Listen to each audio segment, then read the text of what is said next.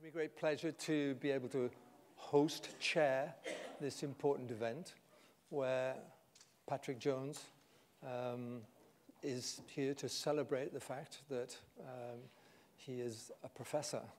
Um, he was actually made a professor a couple of years ago, right? So I think it was about in 21, so we've had a bit of a delay on that.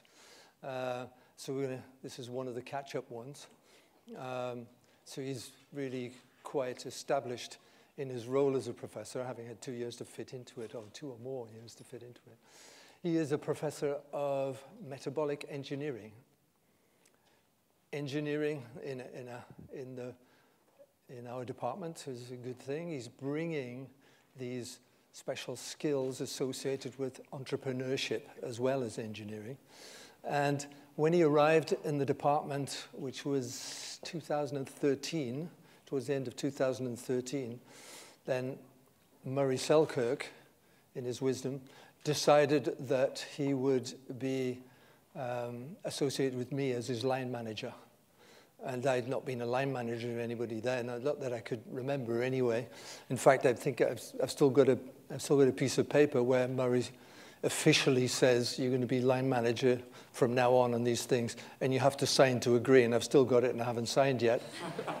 Uh, um, but anyway, so I played the role as your line manager.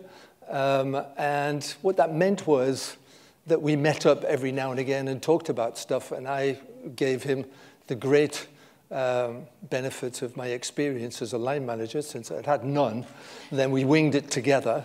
Uh, but I figured that the, the best thing to do was just to give you my confidence and interest. And we hit the various targets that were required in a career in this place. So the big target was that last one in uh, 2021. And congratulations. And, and I think it wasn't too difficult. You think we had a good time. And I think that was the, that's the important thing about this, that in a place like this, then you think it's going to be tough. But in fact, we hit the targets. And that was because of all of your efforts and only a small amount of encouragement from me. And so what we're going to hear about now is the background to all of that, I guess, the, the previous career, and it's an interesting one, uh, and what's been done since Patrick arrived here. And so now I'm going to hand over to him to give us those details. So thank you, Patrick. Thank you very much.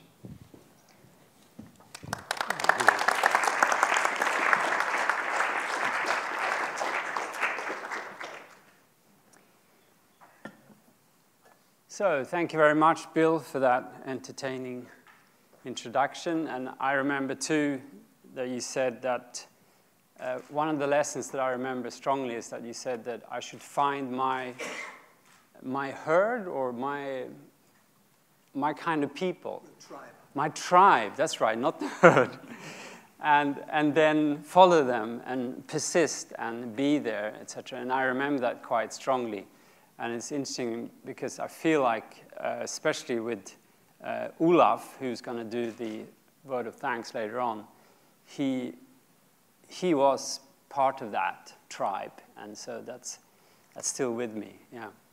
Uh, I'd like to thank uh, also Meg Carter. Um, I can't see Meg anymore, but she's the one and her team that has uh, organized all of this, and, and you can see all the the people behind all the equipment as well. So thank you very much for that. And yeah, Bill is gone, and now it's the beginning. So, sunlight dependent uh, biochemistry, the commercialization of that, that's what I'm going to be talking to you today. And it's a public lecture, so I'm trying my best to make it understandable in the broadest sense. And, and it's great to see even young people here as well um, joining this lecture. So first question is, what do I actually mean by this slightly complicated title? Well, with respect to sunlight-dependent biochemistry, I refer to photosynthesis and what we normally associate with plants. Plants are really good at using sunlight and water and then carbon dioxide from, from air, and fixing that carbon dioxide and incorporating it into a product. Now, in the case of plants, most of that product is just more plants. When it comes to commercialization, that's pretty much about making a business with that sunlight-dependent biochemistry. And that's what I'm referring to here. Here's an example of sunlight-dependent biochemistry that's connected to my past as well. Uh, we started a winery in 1999 in McLaren Vale in Adelaide, and these are just some Shiraz growing uh, south of Adelaide. Now, you could sell those grapes as they are for a reasonably low of money and eat them. But instead, you could crush them, add some yeast, or perhaps be lucky with the native ones that are there, and ferment that into wine, which is usually, in most cases, much higher valued and uh, more interesting as well. Now, that's a two-stage process where in the first case you have the plants taking all those ingredients and making uh, grapes, and then the sugar that's in those grapes is converted by the yeast into ethanol. And then all the other molecules that also exist in the grapes and are generated by yeast as a, as a byproduct end up and become what is known as wine. Now, what if you could transfer that into a different system? In this case, using microbes that we call cyanobacteria. Now, I'm not suggesting that we would use cyanobacteria to make wine, because it probably would taste awful. But that's essentially the kind of process that we're talking about here. So what are cyanobacteria? Cyanobacteria are microorganisms, they're bacteria, and they exist everywhere, in the soil, in water, in the Arctic, and in the warm places as well. And in the lab, we can culture them, grow them on plates, we can grow them in liquid. And if we ask a microscopy expert to look a bit more closer, you can see more detail.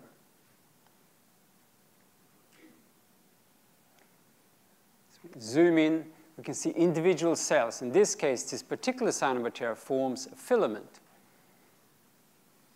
We zoom closer at the cellular level, this is what they look like as a cell. And inside that cell is a cartoon of the metabolism. I'm going to explain a bit further what I mean by metabolism. But first, let's talk about the history. Several billion years ago, cyanobacteria were very important for us. They were responsible for the accumulation of oxygen in the very beginning, and that was essential for us more complex species like humans and probably simpler ones before that to actually evolve in the first place. So we have very much cyanobacteria to thank for for our existence. But nowadays, most of us know cyanobacteria, or algae as they're also called, as a problem. You may have gone to your holiday and you look into the lake that you're hoping to swim in and you can see this slimy looking feature. And in fact, is some of them actually excrete uh, toxic compounds as well, so you do need to be a bit careful. But what I like to argue is that there's, there's also something really good that you can use cyanobacteria for. They fix carbon dioxide, just like the plants. And also, some of them, only some of them, are able to fix nitrogen as well. This is a very unique feature that only certain bacteria have. And it so happens to some of them can fix both carbon dioxide and nitrogen. Furthermore, they're microbes. So we can grow them under industrialized conditions. So we can use them for industrial biotechnology. So lots of great features with this class of organisms. Now I'd like to take a step back and explain some of the things which all you probably know about, just to remind you about the reasons why, about some of the bigger issues that we could try to address with renewable biotechnology.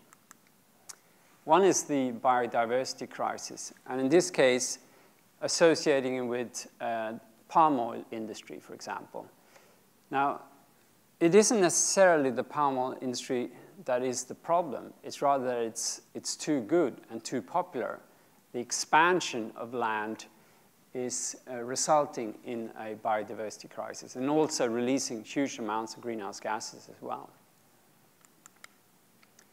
In this experiment that I found on Wikimedia, uh, there's, there's a control on the left that has no nitrogen added. And on the right, there is nitrogen added. And you can probably see which one the farmer would prefer. This would be much more uh, profitable for them to pursue, right? So adding nitrogen to agriculture is very, very important. But unfortunately, a lot of the nitrogen that's added on agriculture ends up in the environment. And only in Europe, it's costing up to 300 billion euros a year, mainly in health-related costs, but also in ecosystem-related costs. Another big challenge, of course, is climate change. As you know, the carbon dioxide and many other greenhouse gases have accumulated quite substantially in just recent times. This is something that we desperately all need to contribute towards. Now, if I focus down on the chemicals industry, uh, the chemis chemicals industry alone is responsible for approximately 7% of all greenhouse gas emissions. And typical examples include plastics, but also the nitrogen fertilizer, alone responsible for 2% of greenhouse gas emissions. now, one of the things that I, I have thought about lately is that in my cozy home in, in London, I look out the window and I can't see any effect of climate change. And is that what, it's, what is making me not do enough to contribute towards solving this problem? Because I can't see it. So I looked for some evidence, and this is from Pakistan in 2010 when there was flooding uh, taking place. Um, and as you know, there's been recent flooding as well. And the story goes that spiders fled when the flood came and fled up into the trees and made it their new home. And so there's, and then on top of that, in the background, you can see the remains of the flooding. So you can see con concrete evidence of the impact of that flooding. If we saw that in London, and we could really attribute it to climate change, maybe we would do more. And here's an example of why that could work. David Attenborough, as we all know, when he raised awareness about plastics, people sprung into action.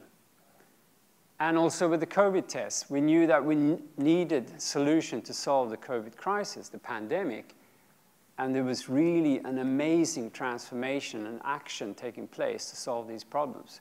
But we don't see quite as much action when it comes to climate change or the nitrogen crisis for that matter, whereas not much happening at all. Anyway, so how could we use these organisms to try to contribute towards solving some of these problems? I, I I would be a fool to say it's going to solve the problems, but at least we could contribute towards them. This is a, an image of cyanobacteria, and there it's a cartoon. They're really good at making more cyanobacteria. That's their job, just to grow, essentially. If we zoom in to this hand-drawn cartoon, supposed to look a bit like the original, um, we can once again see that metabolic network that I showed you earlier on. If we focus a little bit more closely, you start to see individual nodes and edges between those nodes. Well, those nodes, each one of them represents a chemical. The different chemicals, those that are close to each other are very, very similar because with metabolism, we're referring to the change between one chemical and the next.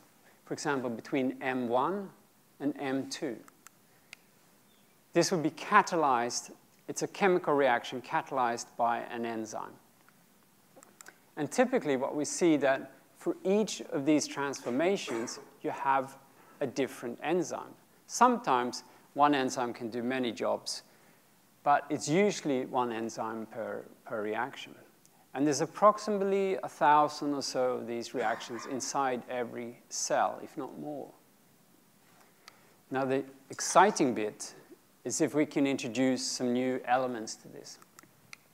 If I add a new enzyme that comes from somewhere else, or I've engineered this enzyme to improve it, I can get a new metabolite, in this case M8.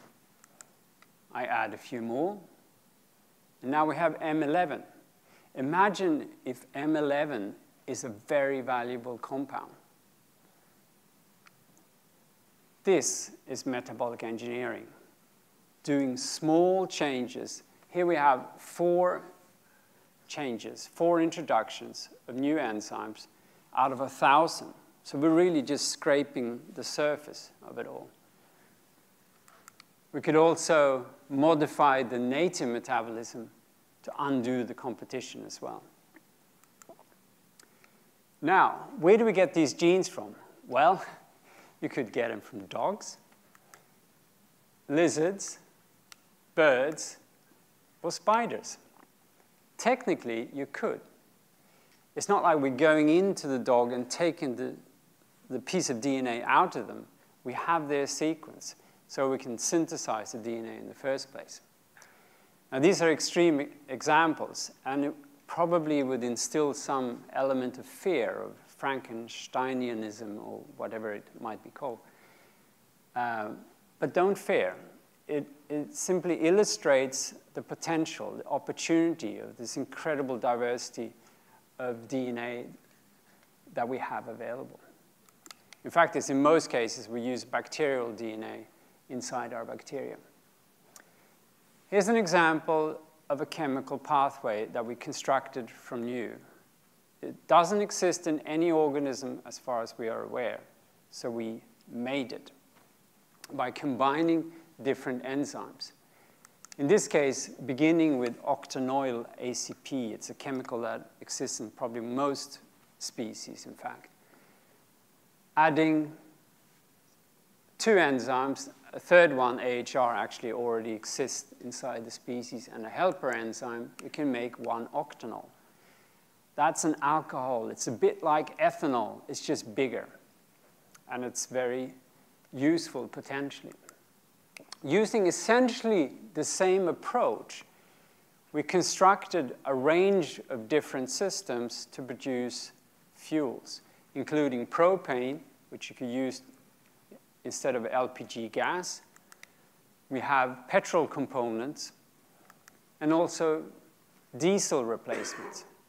One octanol was tested by Volkswagen and found to be a really useful um, replacement molecule essentially for diesel, whereas methyl dodecanoate is essentially biodiesel.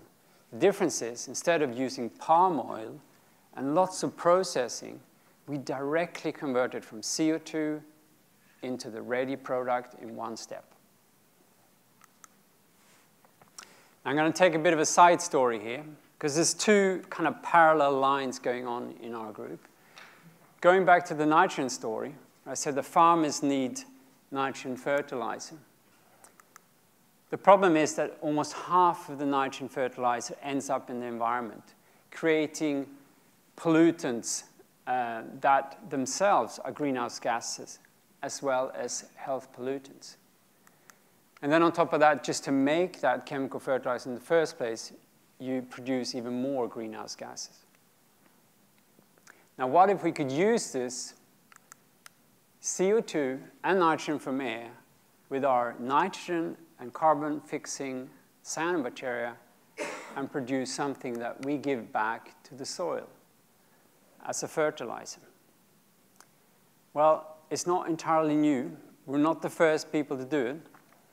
There have been publications before, but we also repeated these kinds of experiments in our lab. So here's just an example of the control versus the addition of algae. You can see that you're growing more plants when you add these nitrogen-fixing algae. Similarly, when we have uh, arugula, rucola, uh, we can see a boost of growth as well. And further graphs, which probably are slightly complicated, but you can still see what they look like. Essentially, sometimes even improving upon the existing uh, fertilizer options that are out there. So together with the fuel molecules, and here these fertilizing agents, you would really have to say that we have the technology already. Job done, boxes ticked. So why aren't we rich already? Yeah. Very good question. These are big, very, very big markets. Well, I'd like to illustrate this with this image I also found from Wikimedia. It's a famous guy called Usain Bolt, and it's a bit unfair that I use Usain to illustrate something that's unfair because he's probably just pure raw talent. Um, but I, I like to say that he is the fossil fuel. And back here are all the other alternatives that are just struggling to keep up and not quite getting there, unfortunately. And the reason, there are many reasons why, but one big reason is money. It's simply very difficult to compete on price with fossil fuel. And that's why we still haven't taken over the world with our technologies. Now, one of the issues, particularly with algal biotechnology, and I apologize for the complexity here, this is a, the outcome of a meta-analysis done by uh, someone in the literature. They looked at the cost to make a biofuel using algae. The only thing I want to highlight here is that there's a huge range. And these are all predictions. They're predictions. Now, people have grown algae industrially, but they certainly are not doing it to generate revenue with engineered algae as yet, as far as I'm aware. So we're having to predict what the outcome will be. It's a really nice study done by Mario Tredici in Italy, who's, who's one of our colleagues in, in, a, in an EU project. I like this study because instead of just predicting it, they went out and built it themselves. A one hectare system uh, in Italy, and then they published all the information. So you can see all the small little details. And they reached a conclusion that it's going to cost 12 euros per kilogram of biomass to produce algal biomass. And that's even before you make the chemical. If we assume that 50% of that goes into the chemical, we're looking at 25 euros per kilo per biomass. And that's not how much petrol costs when you go to fill it up. It's a lot cheaper. So it's going to be challenging to match that. So what I like to argue, and many others, I'm not the only one, is that we've seen this shift towards higher value products instead. So we look on, at product value on the y-axis, and you have scale, maturity, experience on the right, which we still haven't got with engineered algal biotechnology, is that we need to aim high sorry, start high and aim low. And the reason why we need to aim low is because it's not until we reach these kind of fuel replacement scenarios or petrochemical replacement scenarios that there will be actual measurable impact. But underneath that is a commercially infeasible space where it's not going to work. And many people have tried already.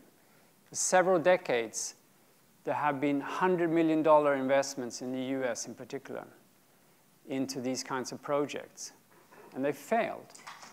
Now, there are many reasons why they failed, but in particular, I would say they failed because they went for the most attractive target, which was the fuel. If they had instead aimed for a higher value product, they might still be around. And can, that would have given them a lot more experience. And that experience is very important in order to optimize these systems and lower the price. At least to give it a try. So I made some estimations myself. If we were to start a startup, and I'd say within four years, I want to reach break even. So we're profitable, we can run on our own profits, essentially. Uh, it's a bit of a complicated slide, but I have a heterotrophic system on the left, so that's yeast or bacteria, or instead the photosynthetic system on the right, which is what you'd have with cyanobacteria or eukaryotic algae. And I've taken the best values of what has been published in the literature. And this is based around productivity, because productivity is one of the key factors in determining whether something is going to be financially sustainable or not. And unfortunately, we reached the conclusion that you probably need to be about still 10 euros or dollars a kilogram to reach that break even with a yeast or bacteria-based system, but one magnitude higher with the photosynthetic system. Okay, so that's not great news, but there are opportunities. Well, before we go into the chemical opportunities, I'd like to highlight that colleagues of, mine in, in Germany, Ralf Steuer and their Celdeg startup, have actually been able to achieve several, well, at least one or 20 or 30 fold higher productivities than we otherwise have seen before. And this is actually very exciting. The problem is, apparently, it's not easy to scale, but it illustrates that the issue isn't the biology, the issue is technical rather. So there needs to be more technical innovation there. Going back to this pathway from before, we have octanol as a diesel replacement, potentially only worth a dollar or two a kilo. So not a great starting point. But if you add another enzyme, you can make octyl acetate, which smells of orange or citrus fruit, and is actually sold for about up to $100 a kilo on the market. Or if you add another enzyme and make a glucoside, all of a sudden you have a biodetergent which is valued higher than gold. Can you imagine? Hmm? We're making gold in the lab. There is an issue, of course, is that it's not just about price, you also need to have the market demand.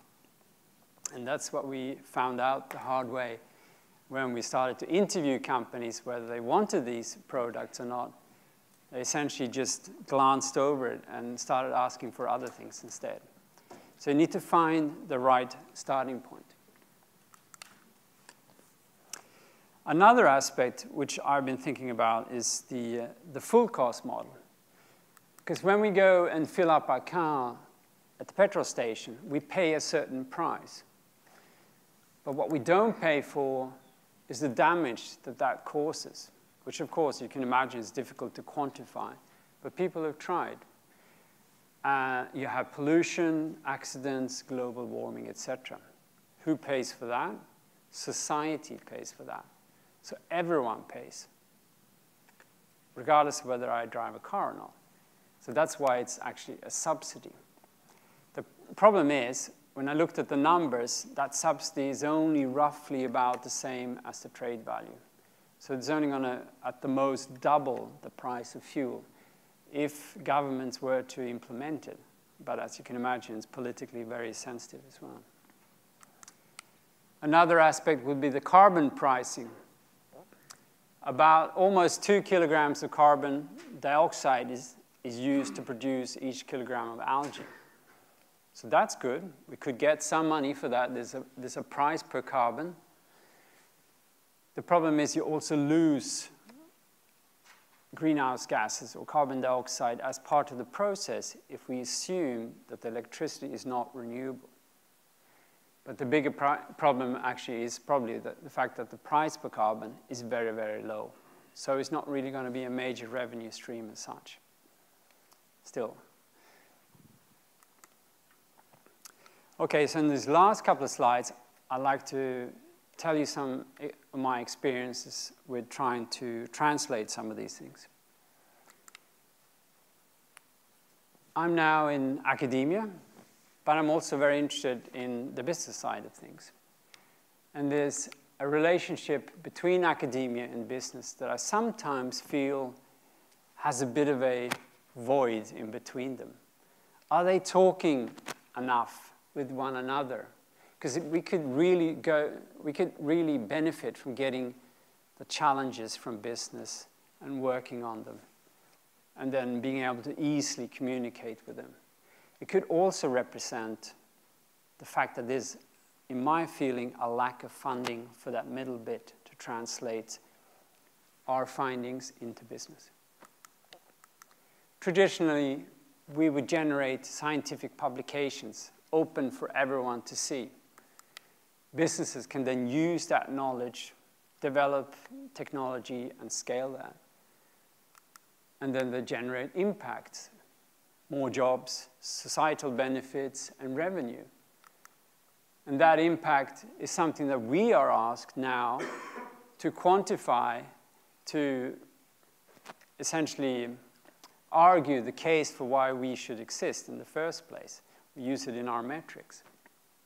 Not so easy, actually. Sometimes it's also the protection of intellectual property, which you could license to businesses who still would probably need to do more development and scaling up. And that could generate revenue for the academia.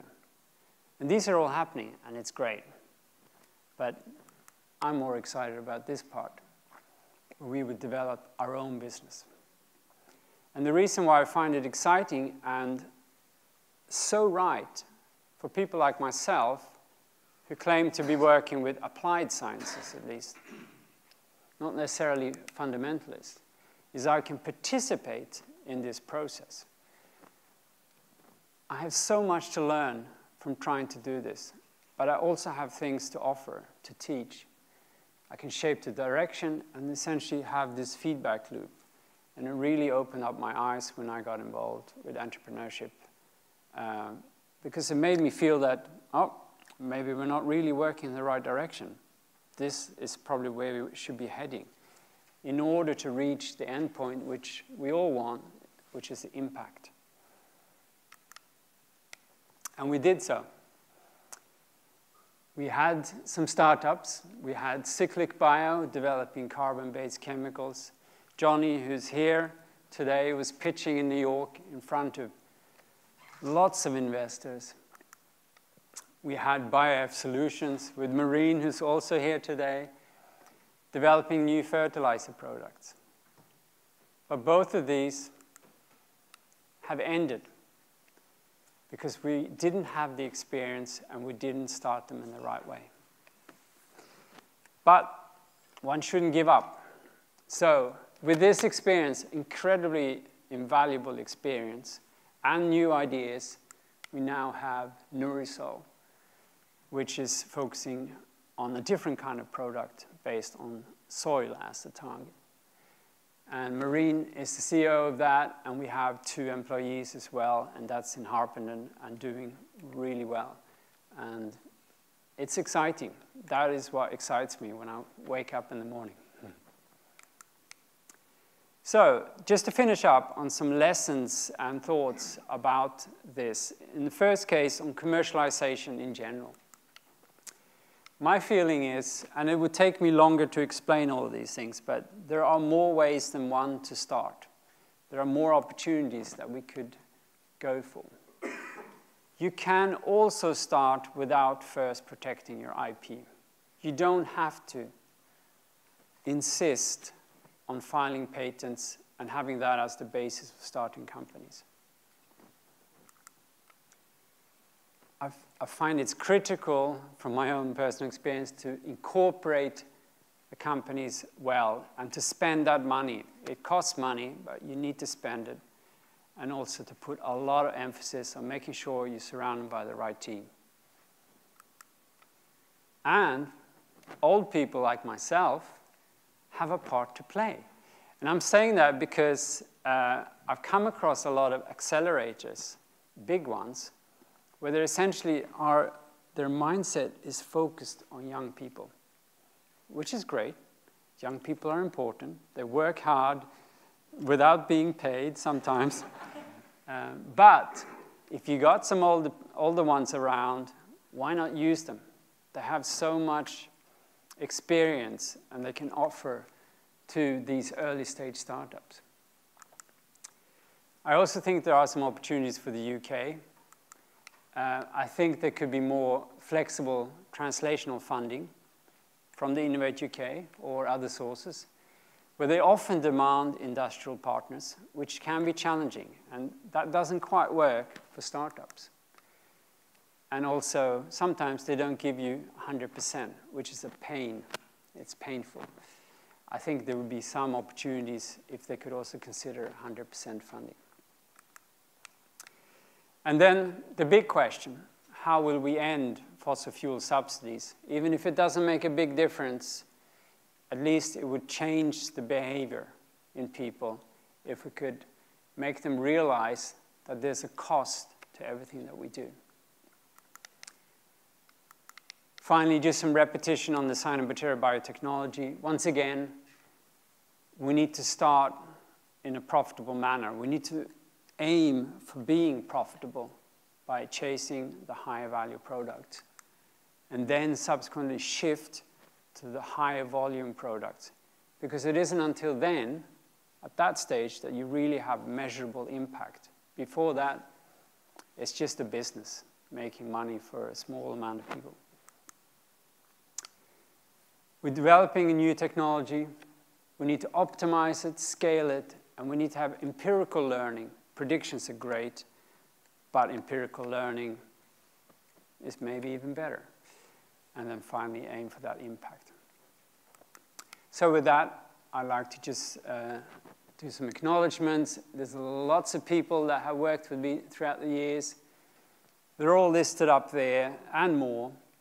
And then for all the sources as well. So, and most importantly of all, thank you for coming. I really appreciate it. And it's great that you've been here to listen to what I have to say. Thank you.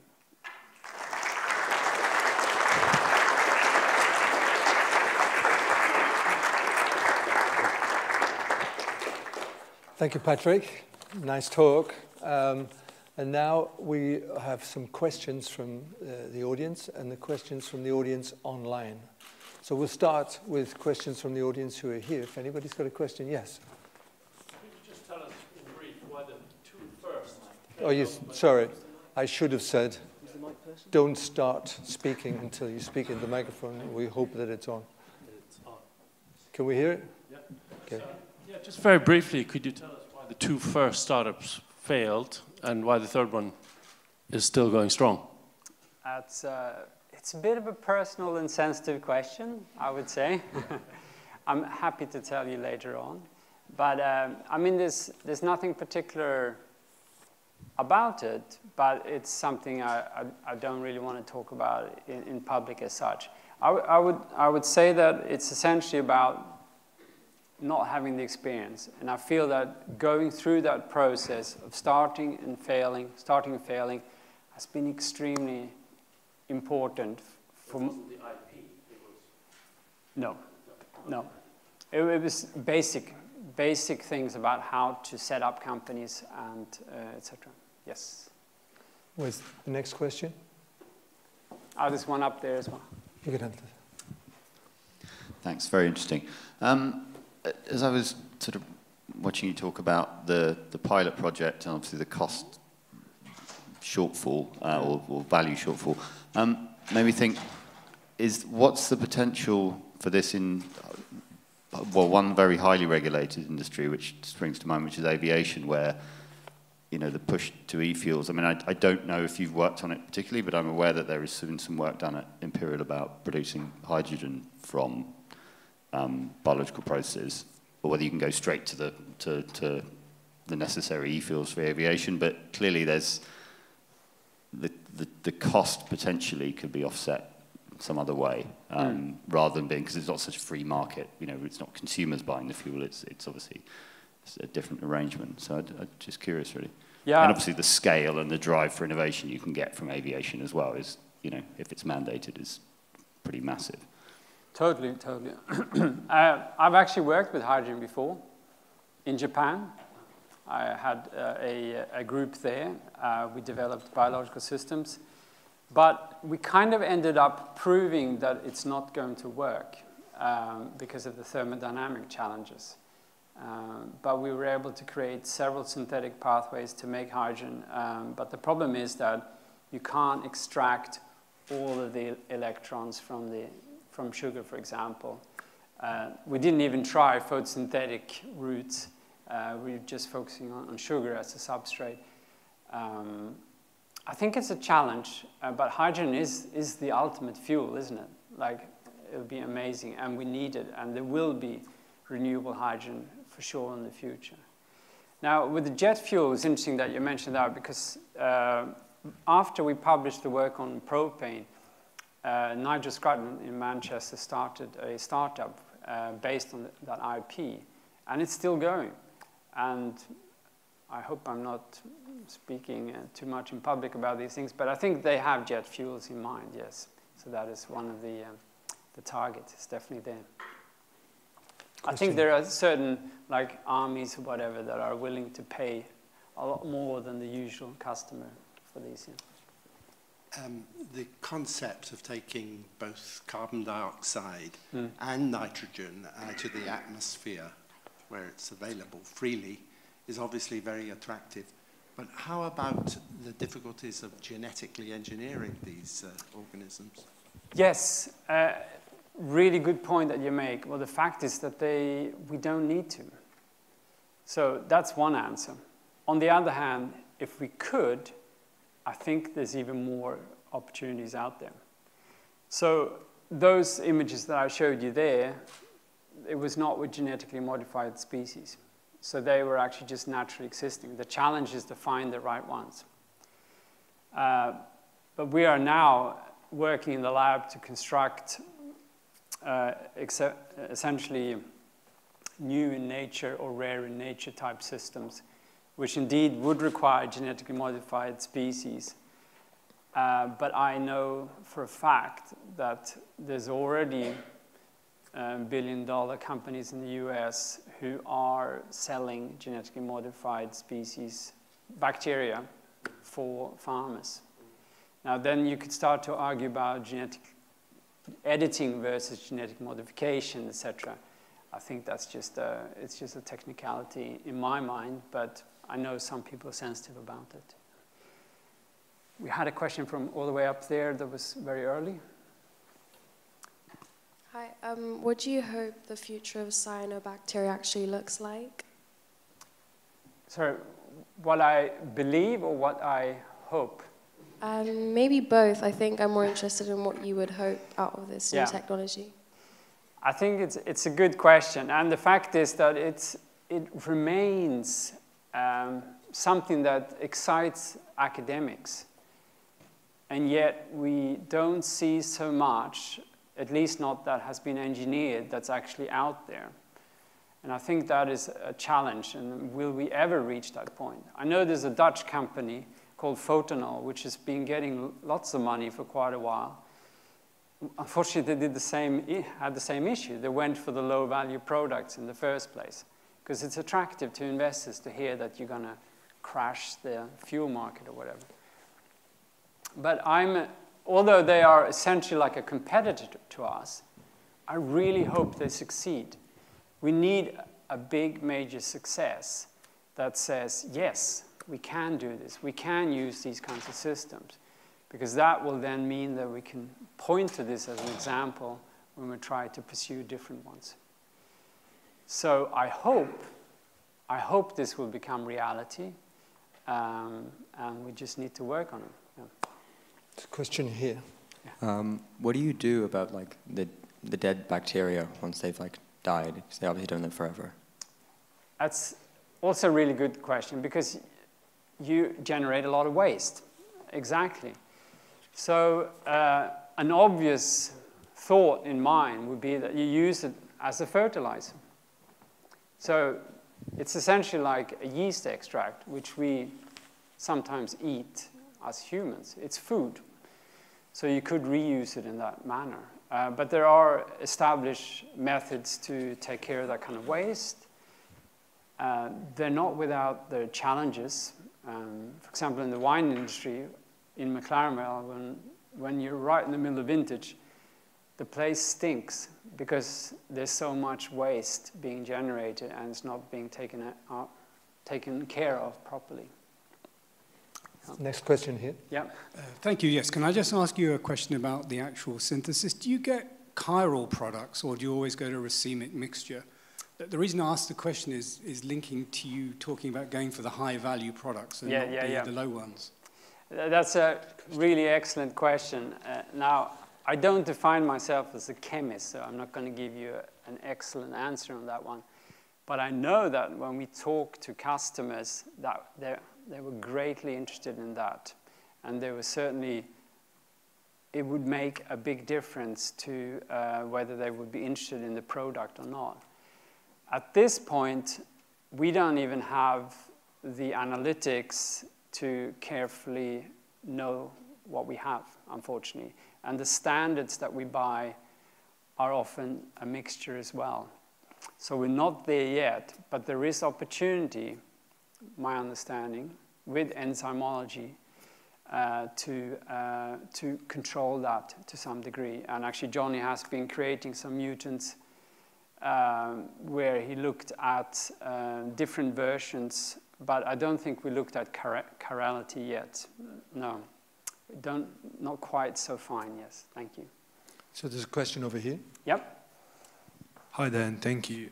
I have a question, more kind of blue sky thinking type of question. Mm -hmm. We spoke about biofuels, and we mainly spoke from energy production perspective. Mm. But what if we think about the energy storage perspectives?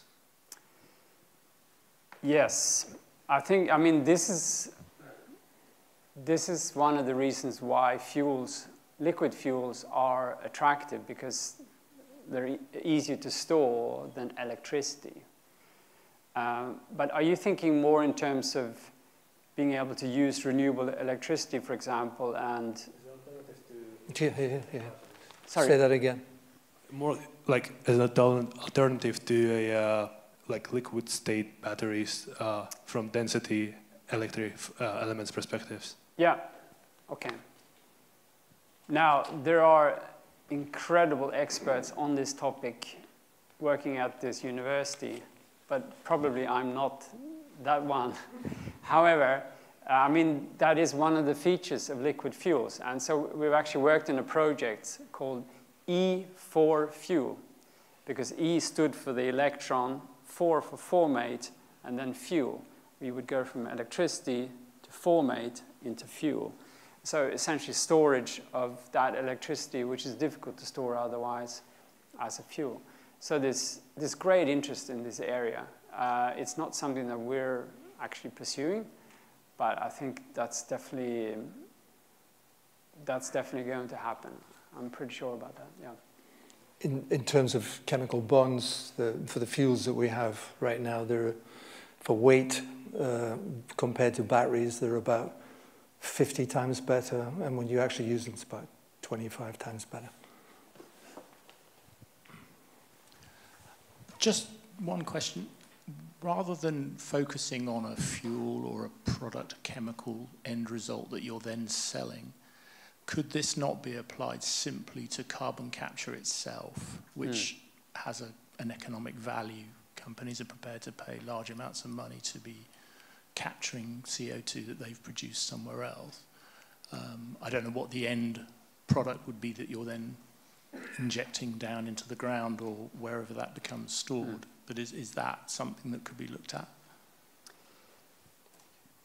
My understanding is that it is being looked at and it's being considered. There's even startups like Mike's company that are looking into that. I think the problem is, once again, that is the carbon pricing is so incredibly low relative to how much it costs to just grow these things. For example, to grow algae, you have to mix it, and you have to have gas exchange taking place, and that needs energy input. So one of the issues often is that, for example, if you have a fuel product, that has a certain amount of energy, you want to certainly make sure you don't waste more energy than you actually capture in that fuel. Um, but if the carbon pricing could go up, and maybe, like if we're talking about waste streams, for example, I definitely think there are opportunities that need to be explored. And my understanding is that it is being studied, yeah. I'm trying to shut up on this, but uh, it gets to the point where I can't. so basically, I don't think it's price is the problem, energy is the problem. You've got to look at the energy balance. And if the energy balance is wrong, you're making a mistake. And when it comes to uh, using carbon capture and storage with biofuels, the energy input is so small on there that the carbon capture and storage is a mistake. We have a huge problem right now in that the COP21 in Paris that we're, that we're planning to keep the, the global warming down to 1.5 degrees, nearly every project that they were planning to do that, that they, in their computers, in the integrated assessment models, did not take energy into account, and they were all planning to do uh, basically what they call BECCS, which is bioenergy carbon capture and storage. Huge mistake. Two sets of major energy mistakes there. Um, it's not going to work. Thank you. Um, All right, you got the answer. Sorry. My question actually follows on to exactly what you were saying. Um, with recent companies like obviously LanzaTech having huge commercial traction and therefore gaining public traction, there's a big question on although this is a system where we're being environmentally friendly by carbon capturing, ultimately it's going to be an energy question of is our process net overall positively impacting the environment? So I guess my question is, what are the types of solutions we can look into when we are doing fixating of carbon to make sure that that doesn't cause a problem? I think that's an excellent question and super critical. The problem is the, the science about, of all of this, we're talking about going from genetic engineering to life cycle analysis. There's no single one lab that does all of this. So it's the work of consortia. And, and it does happen. For example, the European Commission almost demands that you always have an element of that in, in every project that they, they fund. But um, I think often, like groups like myself, we're so focused, we're so narrow, we don't always think about all these elements. But that's also what's nice about when you start to think about commercialization questions like that come up. And then all of a sudden you realize you have to prepare for it and, and answer it. Another question up here. Yeah. Um, we've seen a lot of uh, progress in impact on climate change of driving down the cost of solar and uh, wind power. And if you look back, a lot of that was seeded with government subsidy grants mm. 10, 15 years prior when it was uneconomic. So there's a history there of showing that subsidies can kickstart to scale. Mm. I'm not quite clear, and, and it's a different technology you're describing here. If government, if you could influence government role policy materially, do you think they should be picking products and saying, okay, here's the thing to make? Or is it just the carbon price? If the carbon price was $100, $100 a ton, do you think that in itself would just stimulate enough change? Or, or is there some other route? I suppose, what's the, what, what should government be doing to make this scalable and commercially viable? Mm. Well, there's lots to unpack there. Um, I don't know much about the carbon pricing and how it's decided upon. I think this is very interesting. Then some elements of that might start to become politically sensitive. Um, but um, I think that um, with the uh, sorry, I, I, lost my, my train. There were so many elements there. So you started with the subsidies. Oh, okay, okay. So, okay. So the one thing that I thought about when you first started talking about that, which, if I could say something to government that you they could do better, is invest more in research and translation with greater flexibility.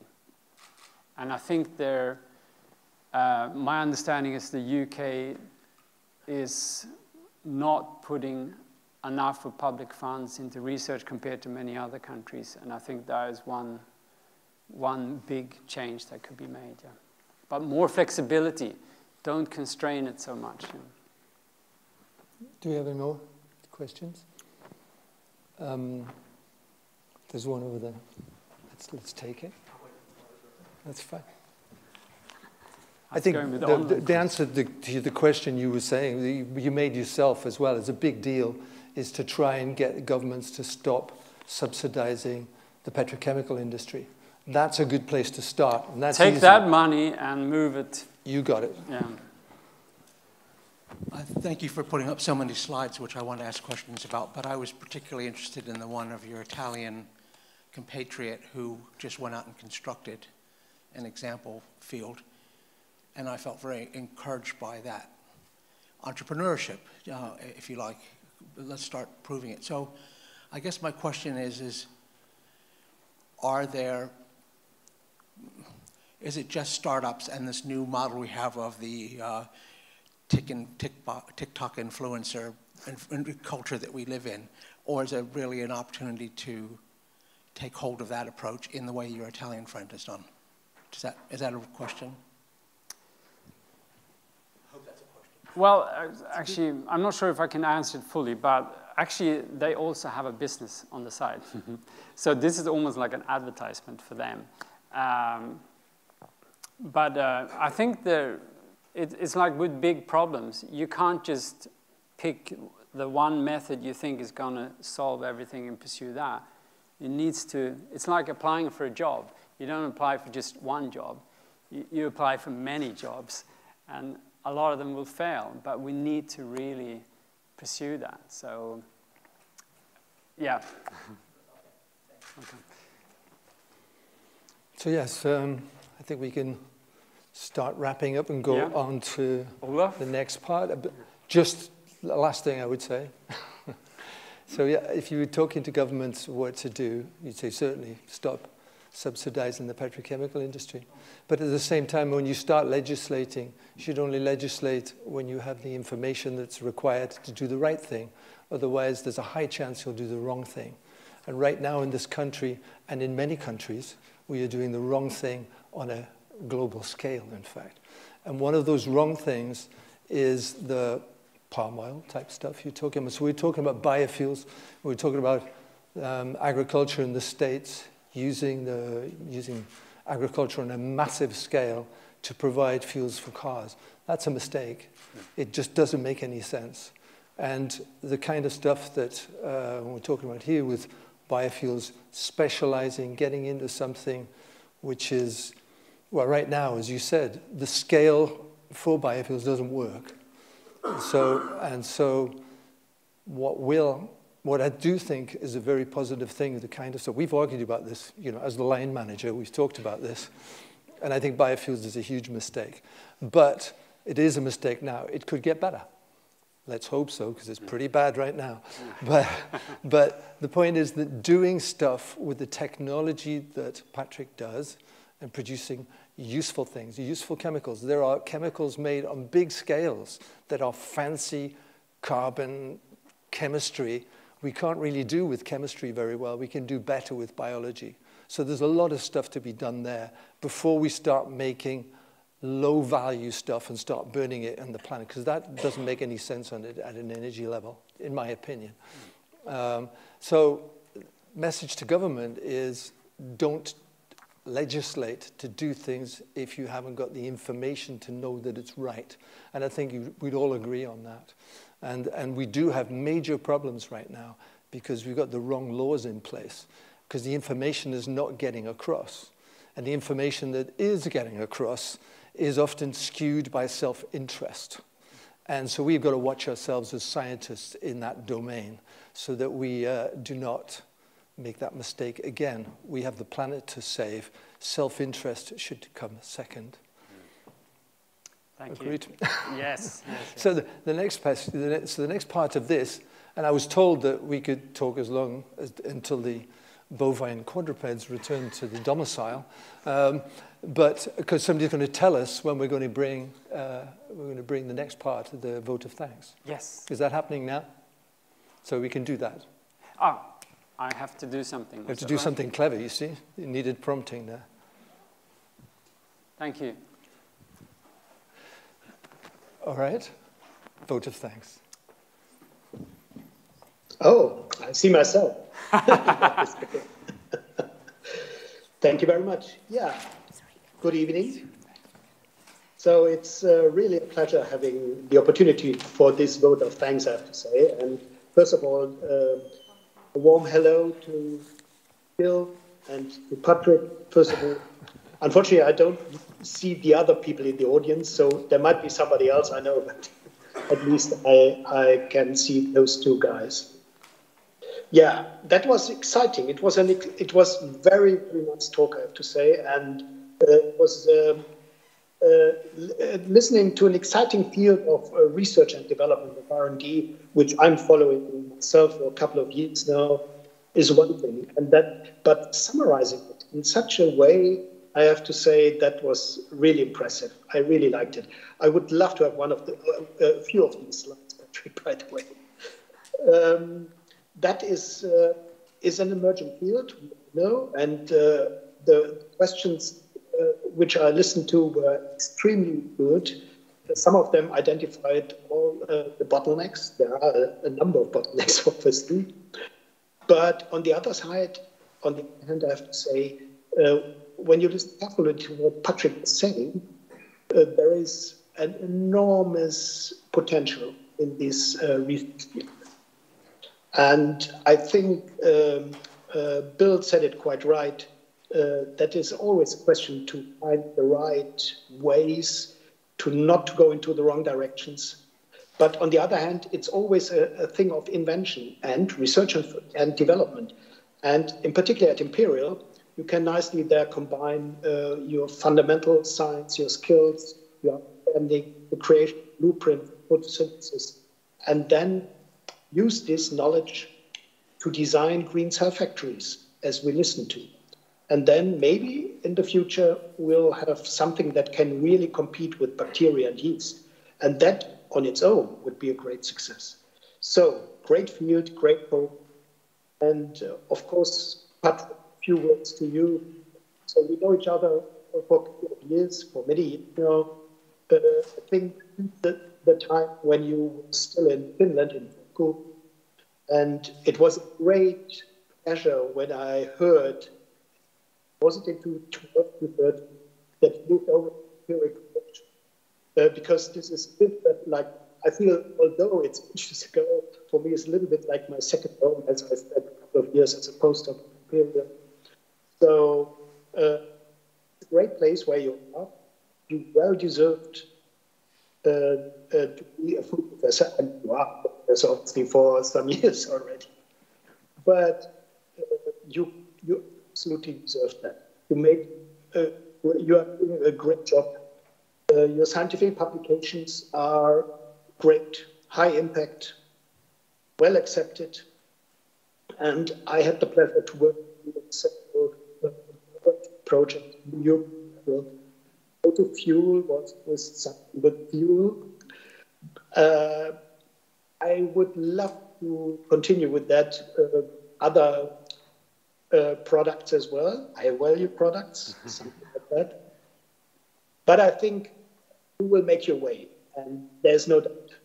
And as I said, in this perfect environment, Imperial, that is an excellent, excellent combination. And uh, from my side, I can only say good luck, all the best for the future, for the next, I don't know, 20, 25 years. At Imperial College now. Don't move, stay there. And uh, I would have, I would have loved to be uh, in the lecture hall now inside, because I'm pretty sure there will be a glass of Australian red wine later on uh, which I can't drink together with you, but we will do that uh, at a certain occasion during this year, I'm rather sure. So, congratulations, all the best to you, and um, a final hello into the audience from my side. Thank you very much. Thank you.